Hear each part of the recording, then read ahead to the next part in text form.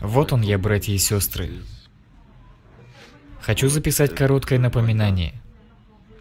Аллаха Субханаху Тааля никто не обойдет, никто не обхитрит. Клянусь Аллахом, мы просыпаемся каждый день, думая, что займемся тем, займемся этим, планируем наши дни, Субханаллах. Но однажды ваше время придет. Так что, братья и сестры, вернитесь к Аллаху Субханаху Тааля. Покайтесь, ведь каждый ваш день может стать последним.